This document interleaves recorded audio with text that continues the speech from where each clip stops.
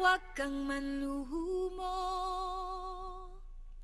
Sa sinapit na kalagayan Tagapagsilbi, tagasunod sa utos Ng lalaking sumumpang ibibigay sa iyo ang buwan. Rebecca, wag kang manluhumo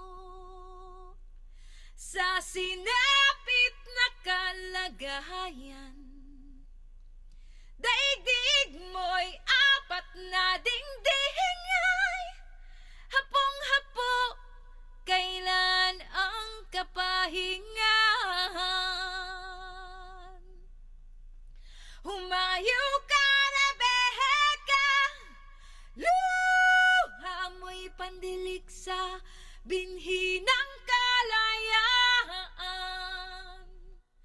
Humayo ka na, Beheka Umindayog sa sayaw ng katarungan. Humayo ka na, Beheka Luha mo'y pandilig sa binhi ng kalayaan. Humayo ka sa sayaw ng katarungan. Rebecca, wag kang manluhumo Humayo ka,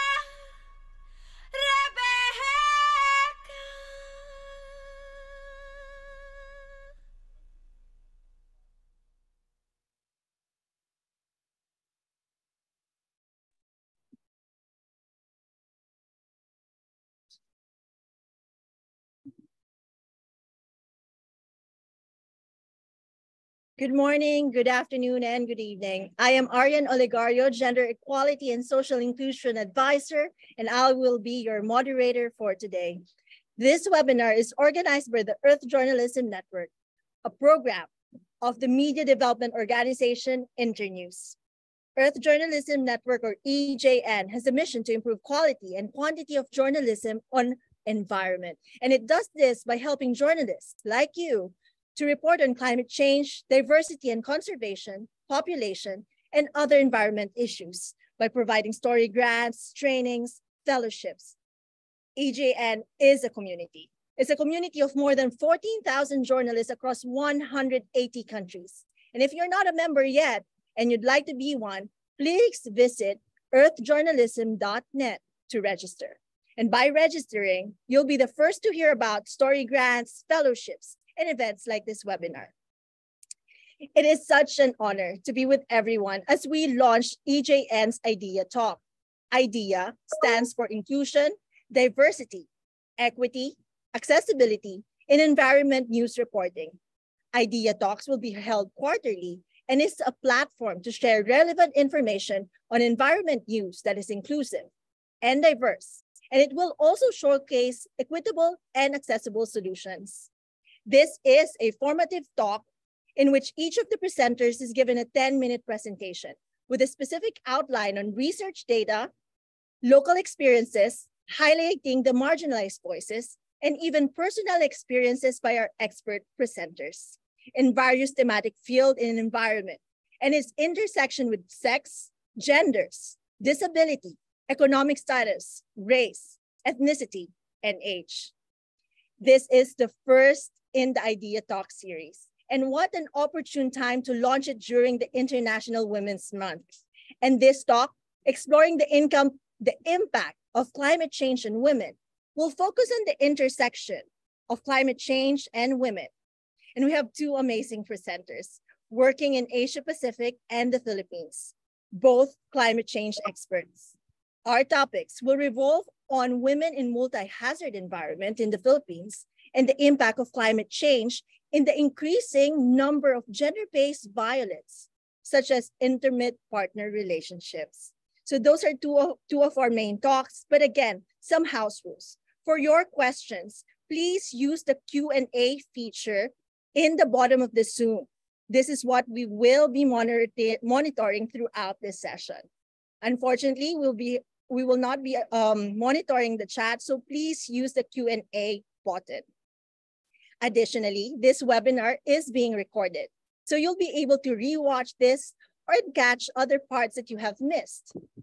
We will open this up in the next few days and attendees will receive an email to watch it. And without further ado, I am very excited to introduce our first speaker, who will share her experiences responding to multi-hazard environment in the Philippines. The Philippines is one of those countries that suffer most from extreme weather events. The Climate Risk Index by Germanwatch ranked the Philippines fourth in the long-term impact of climate change. And because of its particular vulnerability, being a poor country and the monetary losses is greater compared to richer countries. So how does this work out? when there are multiple hazards experienced by the population, experienced by the women. Let me introduce our first speaker, DG or Divina Gracia, who will share with us her experience in handling gender inclusive humanitarian responses in multi-hazard environment in the Philippines, which is affected by climate change and man-made conflict.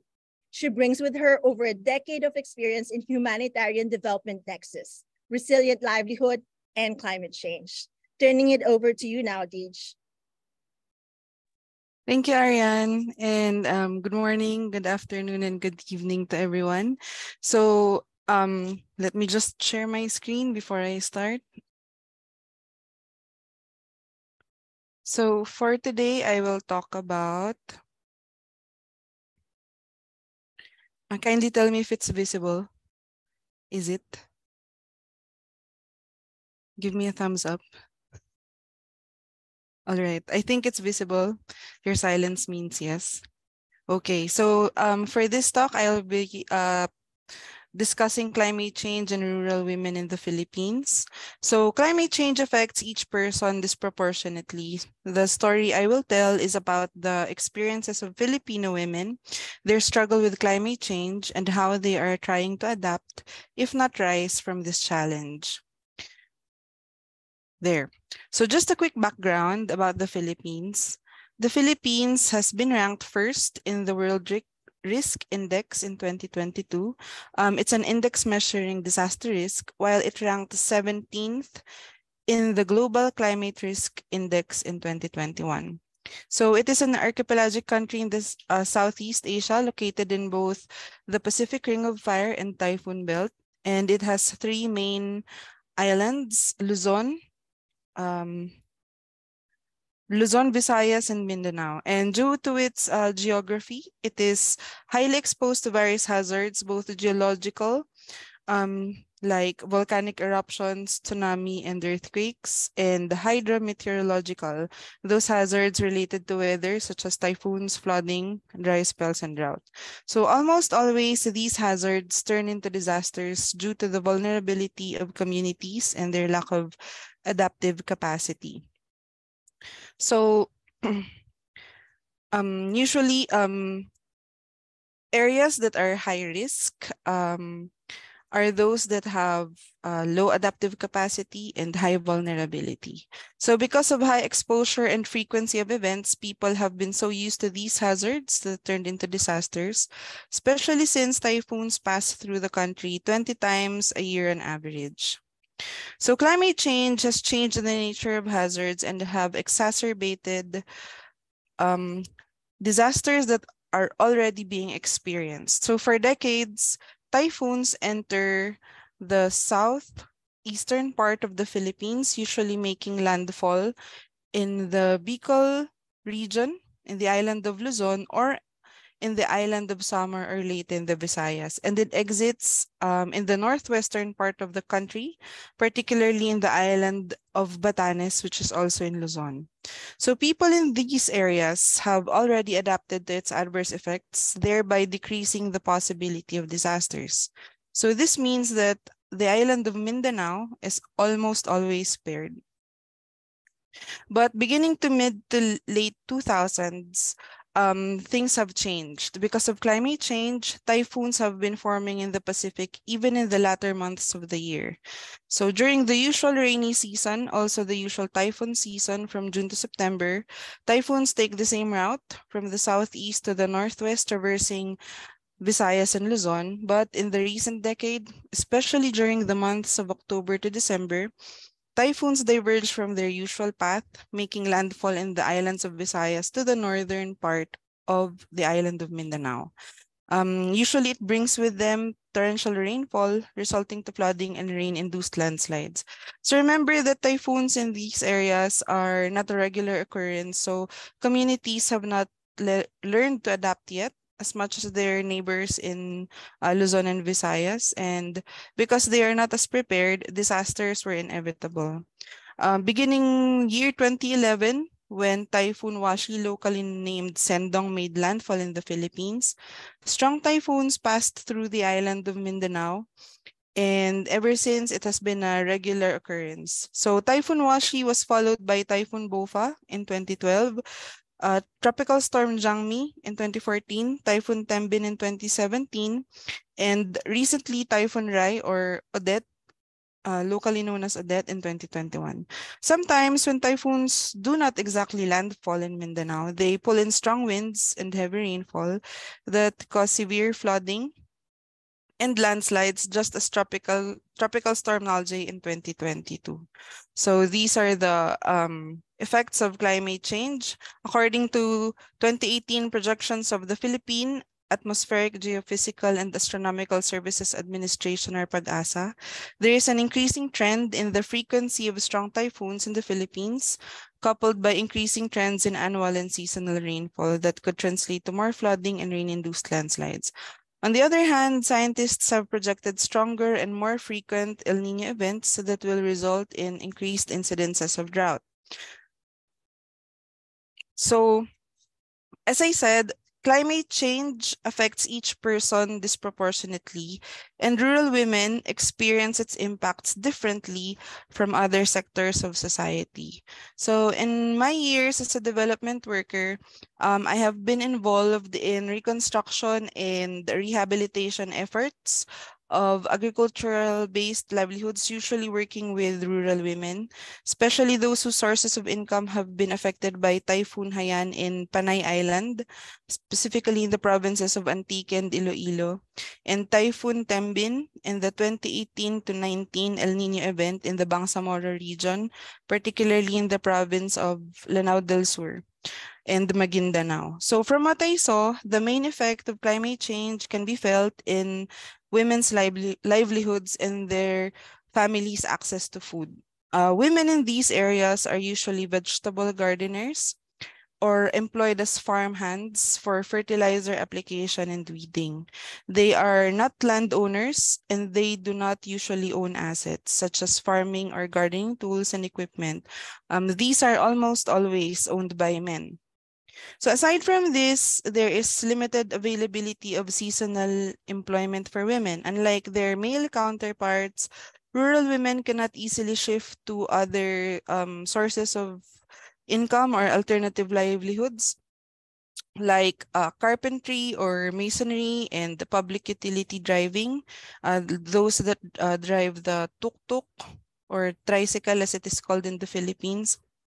Um, also, um, they do not have ready access to financing in case they would like to open a small business. So the lack of ownership, lack of alternative livelihoods, and lack of access to financing increases the vulnerability of rural women to climate change because they are not as um, adaptive. So um, they lack the adaptive capacity. And so when adverse effects of climate change strike, usually in the form of typhoons, severe flooding or drought, this almost always usually mean crop failure for rural women. Lesser harvests mean lesser incomes.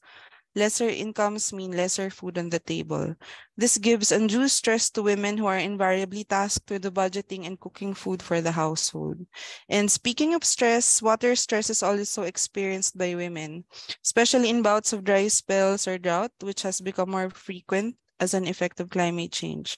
So as vegetable gardeners, um, most of the women I have worked uh, with are um, have small plots of land where they um, plant vegetables. So they still use watering cans to um, water their vegetable plots. And so when water is scarce, it becomes a challenge to them since they need to find alternative water sources when the one nearest them dries up.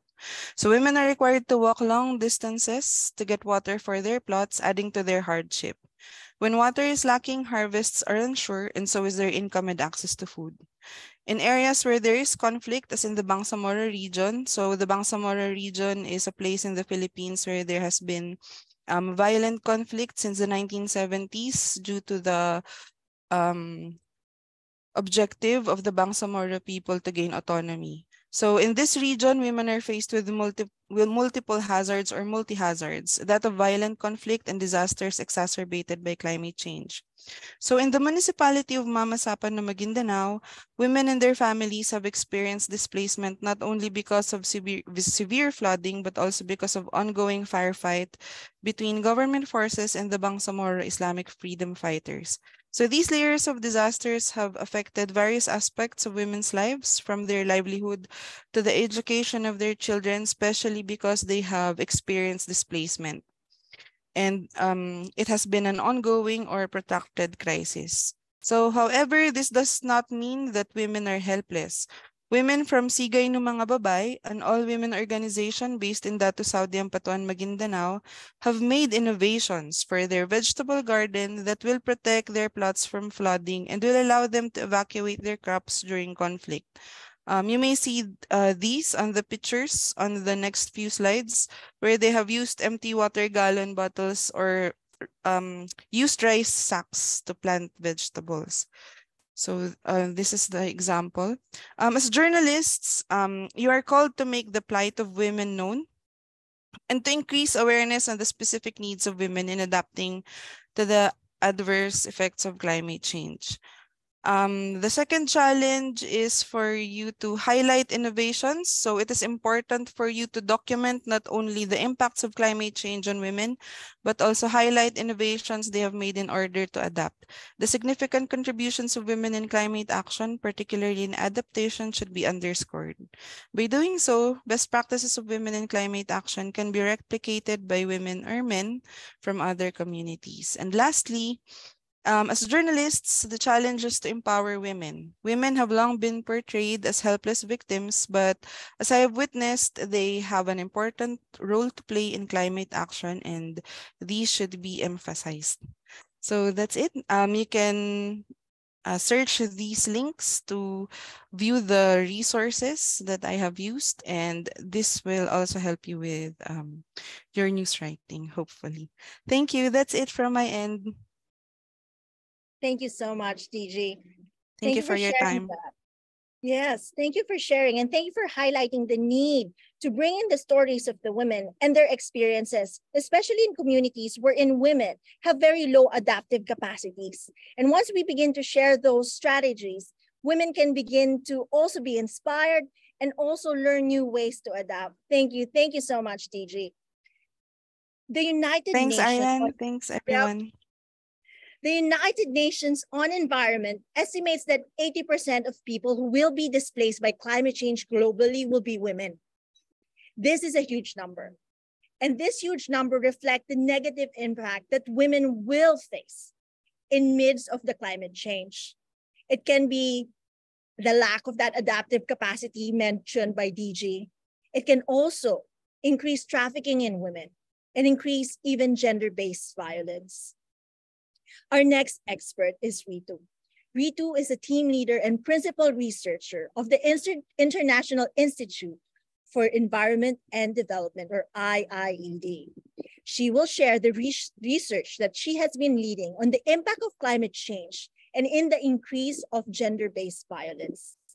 With her 18 years of senior policy development, research, and management experiences in government, funding agencies, and international NGOs, Ritu has extensively worked on social protection, climate resilience, both in policy, planning, and financing, forest and water, watershed management, resource conservation, may it be water and energy, through renewables and circular economy. She also worked in livelihood and gender issues. So Ritu, please take it away. Thank you so much, Ariane, for that introduction. So uh, I actually didn't want to waste too much time. Uh, so I hope my presentation is visible to everybody. So uh, it has already kind of set the tone uh, because, uh, you know, of course we need to see women as being more empowered and not being as a helpless uh, person. But, you know, our research has shown that their conditions, their social and institutional norms uh, they are the ones that create individually they are quite uh, leaders within themselves but you know those social and institutional norms they create vulnerability for them so i'll be talking more about how climate change is leading to forced displacement and distress migration and what impact it creates on women uh, and you know i normally talk about my research around the way it creates uh, vulnerability around uh, modern slavery, trafficking. But today I'll also briefly cover the health related impacts and the uh, and, and the mental trauma and the anxiety and the stress it creates for women. Uh, so quickly, just because you know previous speaker has talked about this, what we need to understand that the climate change has changed in the way it used to behave earlier. In the recent times, in the last four or five years especially, we have seen that there are those climate extremes change to which we were able to adapt, we are not able to do that anymore. It's breaching our limits to coping capacity. And this is because many of these climatic events are unprecedented uh, extremes. You know, everyone, media really covered uh, the Pakistan floods in a big way. One third of the country was underwater. How can you ever adapt or cope with a uh, with a with an event like that? How can you ever prepare in advance for an event like that? And similarly, you know, I remember Assam floods last year were also un- unprecedented because it occurred at a time in India when it never occurs. Floods occurred in, in late in late July again. So it was not just un- unprecedented extreme, it was two unprecedented extreme. So you're hardly able to recover from one and you are hit by another and then by another. And people, you know, journalists who are uh, today from the region understand that in the Bay of Bengal, uh, we used to receive one cyclones in two years. I remember growing up in that area. But now we receive two or even three cyclones in one year, which is like, how do you cope with those? You know, our, our infrastructure, our systems, our institutions, our delivery mechanism, they're not tuned with dealing with that kind of uh, disaster or that scale of impact. So people in these areas are in perpetual recovery mode. I actually, I recently spent five weeks in field and I just returned back. And, you know, one thing that everybody told me, you know, when you go and interact with community, they said drought or flood, you know, that in many areas from the places where I do research, it's, it's like a regular annual event. And many of you journalists would also know that, you know, in many regions in Bangladesh, India, Nepal, Pakistan, and all these areas, floods and cyclones and drought, these are like regular phenomena. How has it, how has climate change really changed it? The way it has changed it, it has become much more difficult. It has become larger in magnitude. It has increased in frequency. So people were able to deal with one drought uh, in three or four years. They, able, they were able to cope with it. They were able to recover from the financial loss of crop. But if the same financial impact of crop loss starts happening every year, then they go into that debt, debt spiral and they're not able to recover from that vicious cycle. So that's why it is important to recognize that the it's the same drought, same drought, same cyclone, or same flood. It's different now. It's because of climate change. And to understand how it is creating, and, and especially when I say it's becoming unprecedented in both extremes and frequency, it's breaching the existing coping capacity. It's going beyond limits of coping capacity. And that is when loss and damage occurs. Loss in lives, livelihood, uh, infrastructure, which in many times they are quantified in terms, uh, in, in monetary terms, and they are normally tagged as economic loss and damage. But there are other non-economic loss and damage, things like mental stress, things like uh, uh, forced displacement, distress migration, which never gets captured in any planning process. It, you know, nobody cares about it because, you know, it's it cannot monetize, so nobody cares about it. And therefore, it, you know, it goes unnoticed.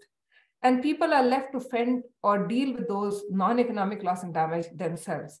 So what we tried to do, we, we, we, we did this assessment. And the other problem with this research in the space is much of the evidence originates from global north.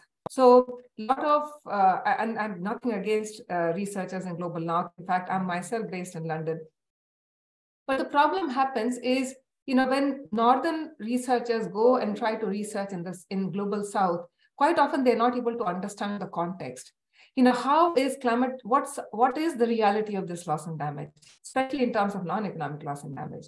How is it really impacting them? Uh, what are their coping capacity? What are the gaps within them? And to understand or unpack some of these, uh, you know, evidence from Global South, we engaged with the universities in Global South, we engaged with the experts, think tanks in these, in, in, in, in the countries, based out of countries, and help them you know we worked as mentors and peer learning support group to do this case studies in 12 geographies. And if you look at those locations we try to cover uh, asia pacific uh, and and africa to understand like is climate impact is that climate change loss and damage different in different contexts uh, is it is slow onset rapid onset creating different types of impact and if so how and one thing, there are two trends that really emerged out of uh, research, and that was irrespective of geographies, whether it was Africa, Asia, Pacific, and irrespective of whether it was slow onset or rapid onset.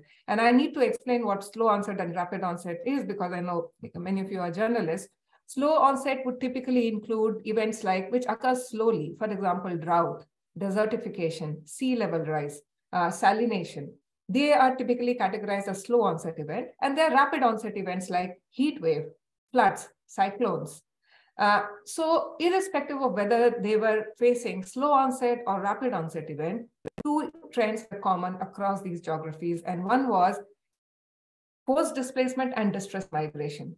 So in every context, this happened. And we found that those who were displaced or were undertaking distress migration, the ones who were most marginalized, the ones who were most poor were the ones who were becoming exposed to becoming victims of modern slavery and human trafficking.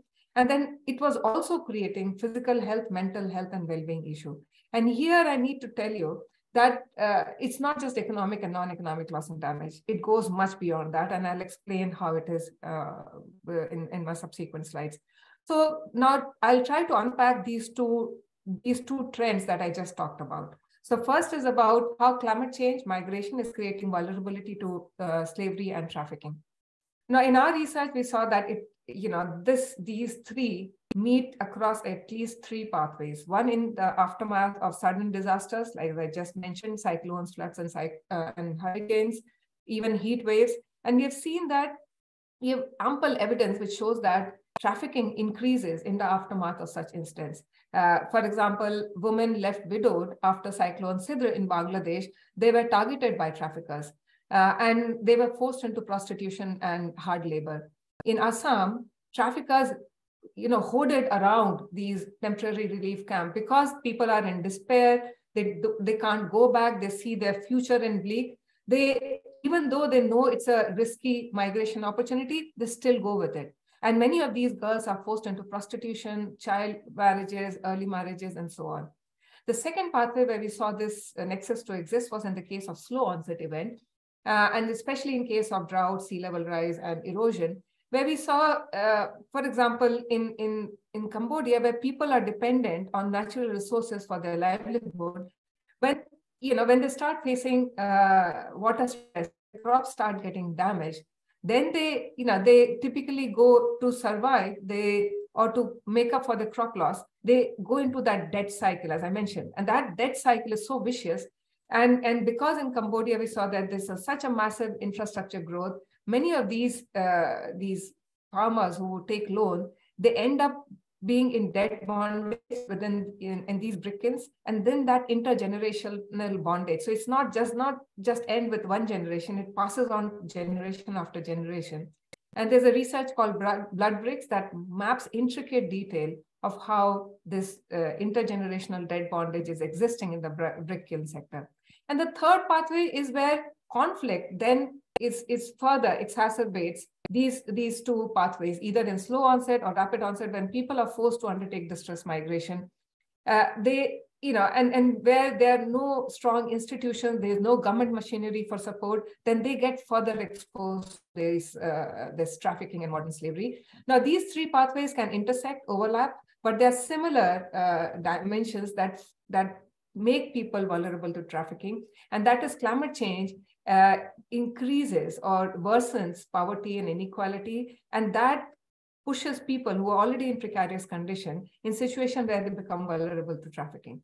Now I'll just present two quick case studies here. First is in from, and I picked up these two case studies because I know many of these journalists, many of you are from uh, Asia and Pacific region. So first is from Chitrakoot in India, where you know we have these traditional Kol community which survives on forest for their livelihood.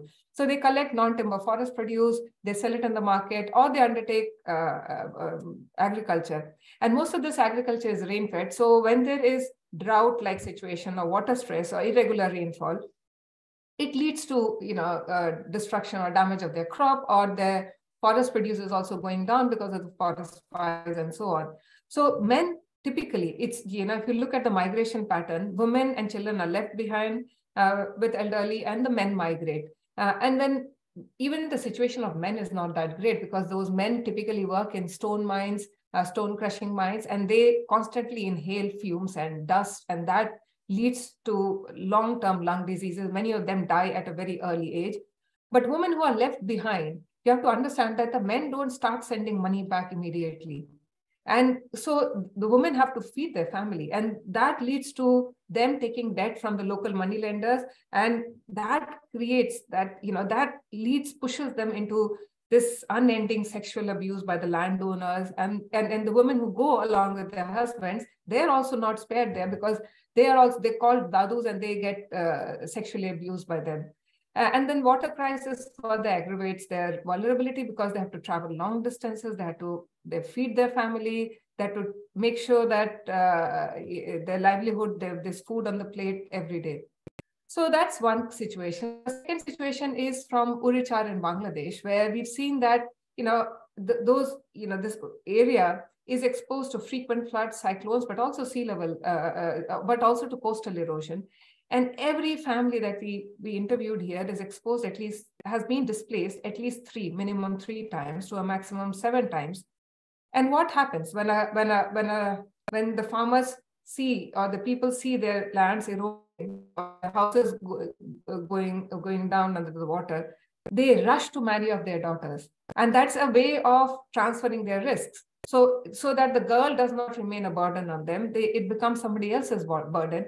And what happens is mostly many of these girls that we interviewed they are exposed to gender-based violence. So they are either because they don't have their support system anymore they've been married to somewhere else they force domestic abuse sexual violence sexual exploitation and even men who are losing their livelihood who are losing their house they come back and the women they take out their frustration on women and women become uh, victims of this domestic abuse, which was quite prevalent in that area.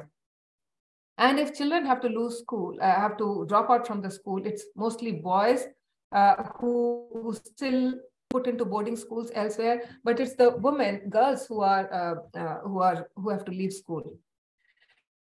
We also try to understand to what extent, because I I talked about that slow onset and rapid onset. So we did this research I am because I wanted to bring in the other dimension. i will provide link to my research where you can see many of these drivers in more, more detail. Because it's climate change, what it's doing is it's acting as a stress multiplier to all the other vulnerabilities that people already faced. So there are development deficits in all this region, in Asia, Pacific, uh, Africa. There are educational issues, there are social issues, there are education, literacy, and a whole lot of other issues that has led to marginalization of people.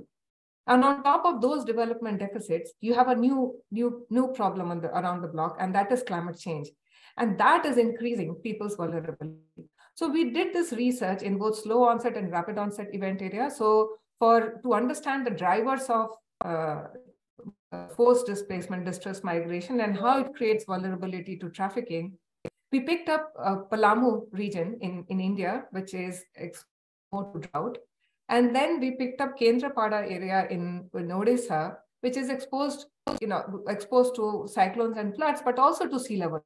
So none of these areas are only exclusive to a slow onset or a rapid onset. These areas have one particular, uh, one or two uh, of climatic events pronounced. And what we saw uh, was the extent to trafficking was 42% in Palamu, like out of the total migrant undertaking distress migration, 42% were exposed to trafficking and 16% were exposed in, in rapid onset. By no means 16% is less. 16% also is a very high number. But 42% is like a, it's something that should really make you jump up your chair and say, what is happening there? And it is happening because many of these families, they are in, from Palamu area, which is a very tribal dominated indigenous population. They have traditionally been neglected. Uh, then they are, uh, they, they, are low in literacy, uh, marginalized for a very long time. And they, they were a particular group there uh, which is called PVTGs, particularly vulnerable tribal group. That's the way Indian government uh, recognizes them. And we saw that trafficking was so rampant within them. Uh, girls were mostly young girls were being taken as domestic help, forced labor, and, and they were still, I would say, they were better off compared to those who were being taken away for prostitution, bearing children. So there's no better option. There's only worst option there. Uh, and and the reason why uh, you know the you know one of the reason like there were many reasons but one of the reason why what we saw was leading to high trafficking rates in Palamu was because of to a large extent apathy of uh, I would say journalists because journalists typically cover rapid onset event. There is a heat wave, cover it. There's a flood, there's a cyclone, you cover it in great detail. There's a drought, there's a sea level rise, nobody cares about it. Nobody covers it. And that does not so when when there are media article that creates political pressure on the government to act on it when there is no media pressure these people are left to fend for themselves. There is no humanitarian assistance that reaches them. And on top of that drought does not get declared. So the traditional the typical benefit that they would get under social protection program that also does reaches them. Uh, um, then I'll quickly talk about another issue which I was in the field recently, and I that you know I still have that research data coming out. So if you have like if you keep following, you'll see more data around it. But I'll quickly talk about some of the other uh, issues, like when climate change happens, and people have to undertake distress migration. Those who stay behind, as well as those who are forced to move, they are both exposed to sexual and gender-based violence. But then it's also creating health sanitation, mental health, physical health, anxiety. So when, you know, people like us, we, you know, we still have our sustained livelihood, protected livelihood. These people who are exposed to these like one crop loss, other crop loss, and they can see that the it's continuing one after the other after the other that recurring disaster or recurring uh, issue in the life that creates mental anxiety a sense of despair and that is pushing people into undertaking like for example in you know i know uh, journalists here are not from uh, from africa but i wanted to hi highlight these two uh, cases wherein in turkana county in kenya they are typically pastoralists and they they you know they it's instead of undertaking migration and they are typical migrant communities. So they love doing that but because there's increase in mortality of their livestock these uh, migrant community have to now undertake settled life. And and and that is leading to increase in alcoholism drug abuse uh, both in men and women. And when women undertake you know they you know they because of this drug abuse they are more exposed to gender and sexual violence. Um, and similarly we also saw in uganda uh, where because this migration is increasing, many of these informal settlements or relief camps, they're getting crowded, which means that, yeah, and, and these girls who are in these camps, and this is something which saw uh, even in, uh, in Bangladesh and in Assam, uh, in relief camps, they are not because of climate change, but in Rohingya camps, you can see that young girls uh, it leads to teenage pregnancy, early marriages in these camps. And, and this is something that we need to highlight. Of course, in, in, in Rohingya camps, this is not because of climate change, but you know, this is a typical issue when climate is further driving these migration. then it leads to all these issues for women and girls. And because I highlighted Chitrakoot example earlier, you know, even in Chitrakoot, what we saw that the women and girls were left behind, you know, and because of these multiple drought spells, they have to walk several kilometers every day. Three to four are wasted uh, in just going and collecting water from these tankers, which means because of lack of water, one, uh, girls have to forego schools. Two, because there's limited water, their menstrual hygiene is getting impacted. Uh, they are becoming prone to diseases. You could see if you look at their uh, uh, their health parameters, the weight, you know, we have data around that, the weight has deteriorated. And I was recently in Bangladesh, like a few weeks back, where we've seen, you know, I, I still have data coming in and we are still analyzing it. It's because women there, they, there are coastal areas where salinity is increasing. So every time there's a cyclone, the seawater comes and uh, contaminate, uh, and it, it covers the agricultural land, and then that penetrates into groundwater and leads to salination.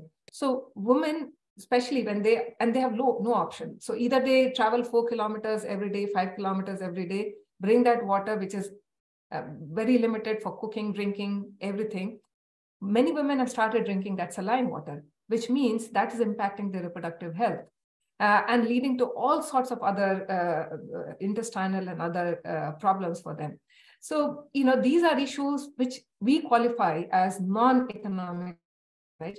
But then, even though we call it non-economic, people, it's something which is far more profound. You go and talk to these people, they the first thing they want treated is, you know, how can we help them deal with that issue of uh, drinking water? So we also try to understand, you know, what are the drivers of uh, you know this distress migration how can we really help so we wanted to understand what is like we, we saw that whenever there is an occurrence of loss and damage caused because of climate impacts it increases the odds of distress migration in slow and rapid onset event and you can say in rapid onset event is much higher 687% compared to 172 because in rapid onset they can they see that their houses, their, their land, everything is destroyed immediately. So they take immediate decision to move. But in slow onset, it comes slowly. Similarly, in case of social protection, people who have access to job cards, public works, where their livelihood is secured, it reduces the odds of migration. Uh, and where people have uh, have access to food subsidy, food security, then again it reduces odds of migration and similarly monthly income. I'm not going to take you through all this detail because I know time is limited, but you know, we really, and the one thing that really stood out was people who were marginalized, people who were marginalized because of their caste. That increased the migration because for them, the climate impacts was much more pronounced than those who are not marginalized because of caste. So these are the things that we really need to unpack and understand. We've tried to come out with some data around it. And what happens is, you know, when you don't, when you don't support people who are pushed into this distress migration, and these are non-economic loss and damage, then there's a cost of inaction. It leads to secondary and then tertiary impact. Secondary impact in the forms of distress migration, forced displacement, and tertiary impact in terms of making them vulnerable to trafficking. Now, right now, we have not, people don't understand that in monetary value, so it is not creating that pressure for, uh, for the government, but it will become more profound in the coming times. And what action do we really need? We really need to provide support to communities before, during, and after migration. Uh, we need to provide comprehensive social protection system, which is rights-based, uh, it's portable. So even when people are moving, uh, they have that support system with them. It should be anticipatory. So the support should be provided to them on the basis of early warning system before a crisis strikes them and not after that. Uh, we need a robust information system. Um, and then again, we need migration advisory and helpline service, something that we have done in Jharkhand uh, with our partners, uh, FIA Foundation there, who are running a migration helpline. It's almost acting like a embassy for migrants, but these are like very small uh, uh, small efforts that are being done by some NGOs. It has to be much more uh, uh, large scale. And then finally, people need, people should be taken towards opportunity and not distress. So people need support at the destination site to get them safe, uh, decent jobs, uh, which provide, you know, with dignity and, and places where they can stay. Uh, they, they have health facility, health coverage, and so on. So I'll stop there. These are some of the resources uh, on the basis of which I talked, and I'll share it with Ariane and she can pass it on if need be. So with that, I'll stop there, Ariane. Um, I know I probably went beyond my time, so back to you. Definitely, um, definitely worked um, out though. We really need those information, Ritu, and gladly extending that time was very crucial.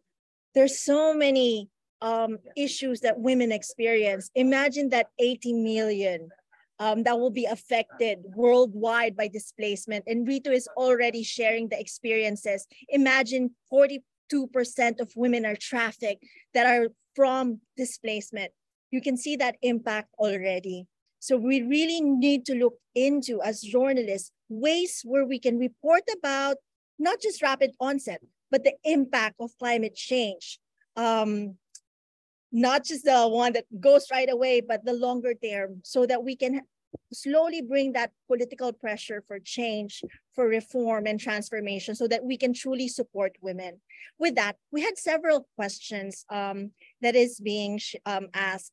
I'll go first from the end. Um, so for journalists, how can they cover the less visible aspect of climate change, especially when it comes to gender-based violence? So that's for Ritu. Yes, uh, yeah. So what we really need to understand is, uh, you know, typically gender-based violence again can be in many ways. I was reading one of the other questions around sale of kidney, and it really, you know, it, it it impacts you at a different level. You just don't understand the apathy.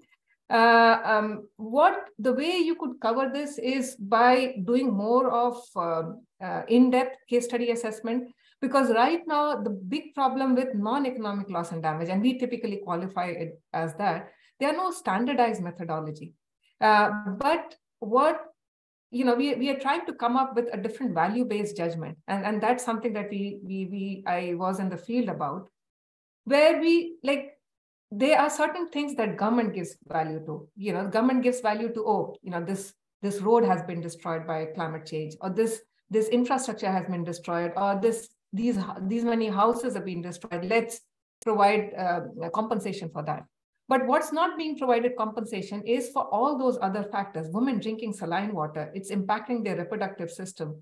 They you know they had a dream to like you know those women that i just interviewed they said they wanted to have children babies. Now i don't think they can have babies. So for them, what the only way you can go and get out some of these information is to do case study assessment, go and talk to these, tell their stories, individual stories. And when these stories, and that story, you know, one thing that I've also seen policymakers brush aside, ah, oh, that's a that's a stray incident. Like, you know, these are case studies. So you do need to come out with numbers as well. So let's start because we are trying to bring together a community of practitioners and you know, so we're calling it Loss and Damage Research Observatory, mm-hmm. where we're bringing together many of these researchers together to come out with that value-based judgment. So how much does a community, a woman or a girl, assigns value to that particular safety net that is broken for them, that's been destroyed for them.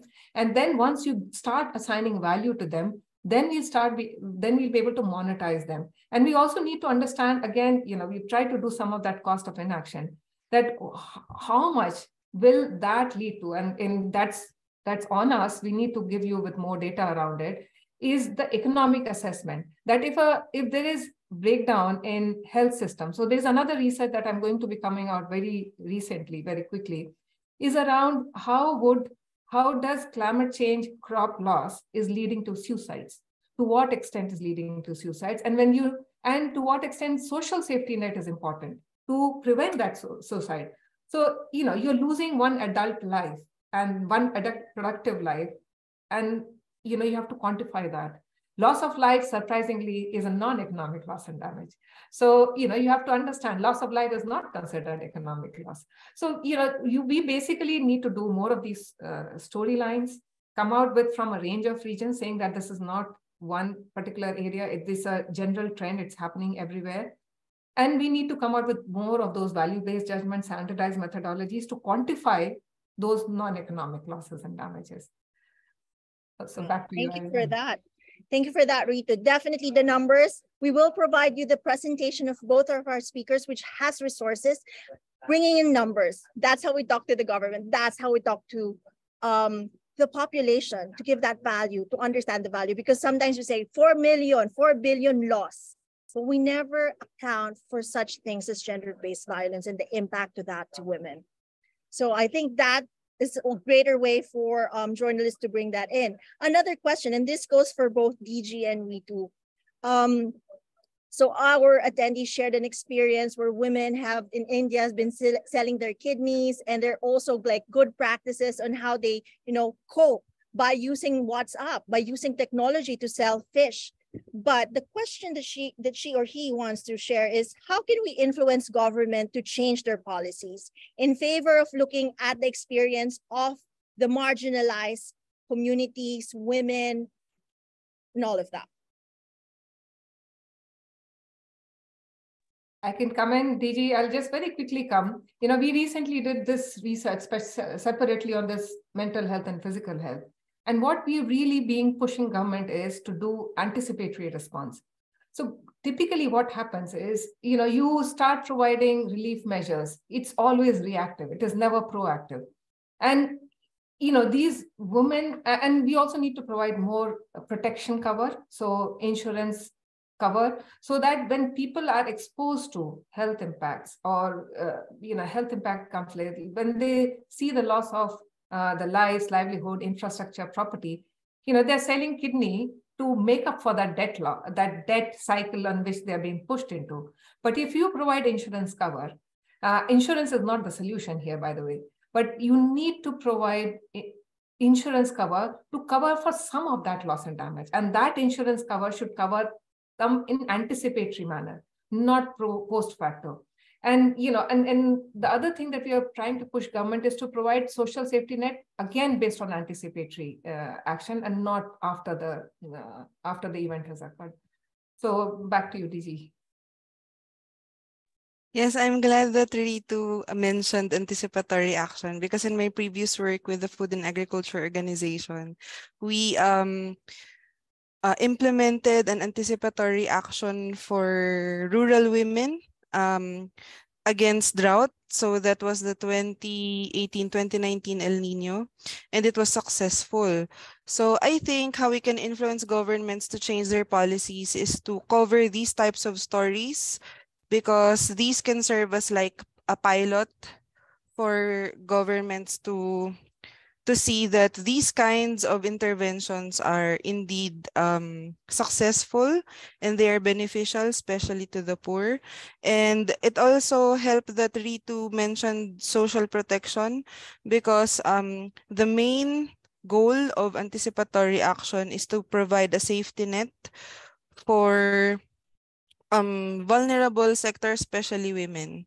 So just to um, reiterate to my answer to one of the questions that also mentioned um, anticipatory action. Before in um, FAO, we called it early warning, early action. And then we shifted to anticipatory action to, you know, um, align it with the vision of other organizations.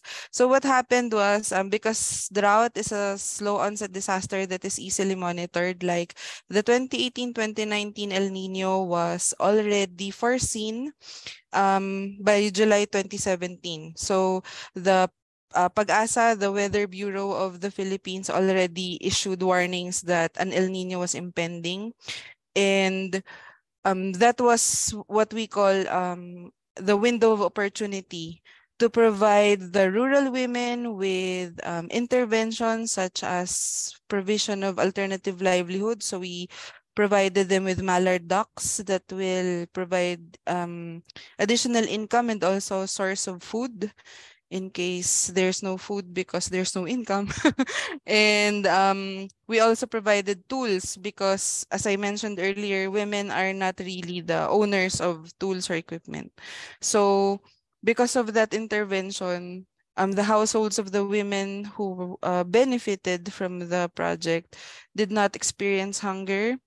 Um, there we didn't measure if there was gender-based violence, but um, it wasn't mentioned when we returned. Uh, but I think that could help lessen and there. So the investment we made 50, 50 pesos or a dollar for each household gained $4 of profit. So it if we highlight stories like that, it would sway policymakers into thinking that um, these types of projects can be translated into, um, we can scale it up to government programs and, you know, create policies that would allow for um, disaster financing or climate financing at the national level because we did it at a community level only.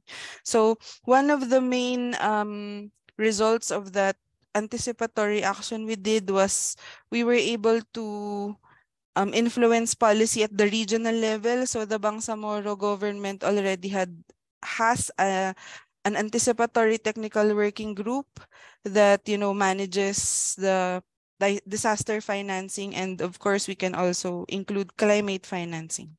So that's it. Thank you. Yeah. I'm learning a lot. So really put, putting in the forefront that concept, that term, anticipatory response, so that actions are in anticipation of future climate change actions. As journalists, an invitation to bring out that word, bring those terminologies out so that our policymakers begin to uh, be aware and really specify solutions. And maybe the social protection is just a response, and maybe later on we'll have better solutions coming forward. But really documenting solutions are one way to go. And that is something that we want, we want to highlight with our journalists. So very short now, um, I just have two more questions. Um, so how can women business leaders um, influence women and the community to turn their sense of awareness, especially on climate change, into action? What are ways to influence women and their communities? Um, we'll start with DG. Okay, so um, let me read the question again. Sorry. Um, how can we encourage um, communities to effectively turn their sense of awareness into action? I'm just gathering my thoughts. Ritu, go ahead. I can quickly come in uh, because yes. I have yes, to drop ahead. off in two minutes. Uh, so basically, you know, I was in India recently uh, for the field trip and I was amazed. One, uh, the internet, mobile data penetration. So eh, almost every girl uh, knew how to use WhatsApp and they, they are surfing internet. So what these women leaders can really do, business leaders can really do is become agents of change, inspire women, come out with the way in which uh, in which they are you know within their own because these women these girls they do idealize these business leaders uh, women who are successful not just business all all leaders around them any woman that they see successful around them they want to idolize them they want to emulate them and follow them. So probably they need to reach out more with their stories of how from very humble background they have grown and become uh, and reach that stage and probably inspire these women to come up to Yes. Yes. Oh, thank, you for you. the savory too. so um thank you for that. I'll just um provide um a more you know concrete example of what Ritu said. So there was a question on who was or who are Sigay no mga babay, the um all women group I mentioned earlier. So as Ritu said, to empower women is to set an example. So these women in Sigay ng mga babay are women who set an example by action. So um, in the Muslim community, usually uh, women are meek. They are not as, um, they do not have a strong voice um, usually, at least in the communities I have worked with, I'm not generalizing, but in, in my experience, in the communities I've worked with, um, they are not as vocal. But with the women of Sigay ng mga babay, they were um, their actions were speaking louder than their words were. So I think giving women the voice through, you know, providing um, a solid example of empowerment is um, can also be uh, an effective way to turn awareness into action. I hope I answered. the question. Thank you. Thank you. Thank you, DG. Um, Ritu is dropping off now. Um, she is in another meeting.